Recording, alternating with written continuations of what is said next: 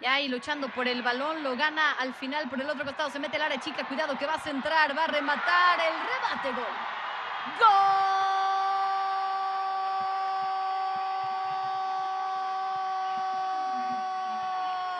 De San Luis, el Atlético ya lo está ganando cuatro goles.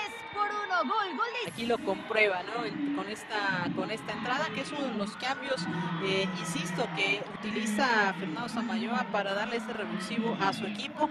Un eh, balón que se va hasta línea de fondo, no sale ese balón, continúa para dar pase ahí a su compañera, le ayuda un poco la central que termina eh, cayéndose y tengo dudas si toca el balón ahí al final, después de esta descolgada de, de Sandy, que es muy buena y ahí termina, eh, pues bueno, incluso hay un toque antes también de la defensora, a ver si se ve mejor en esta toma.